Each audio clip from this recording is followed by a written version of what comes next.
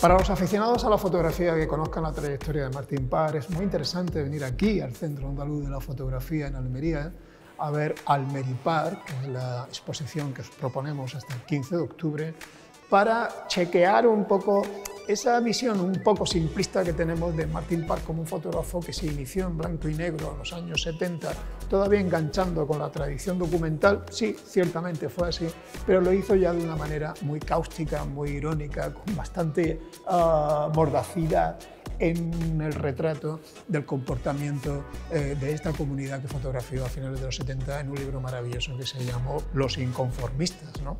Es verdad que había imágenes muy plásticas, ¿no? antigua manera, ¿no? como eh, estos guardabosques de un lord británico, eh, que también esconden, por cierto, la tensión entre las clases sociales, ¿no?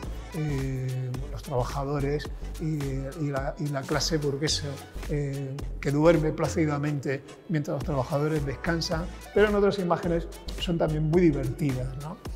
Esa constante en la mirada de Martín Parr va a estallar luego cuando irrumpan el color inmediatamente después y lo hará en series como Everybody Dance Now, que tengo delante mía y que podréis ver en las imágenes, con fiestas restallantes, coloridos, divertidísimos, gente eh, pintando las imágenes de juerga, de diversión, o en otros eh, análisis mucho más irónicos también, más sutiles y más irónicos también sobre la vida en las playas. ¿no?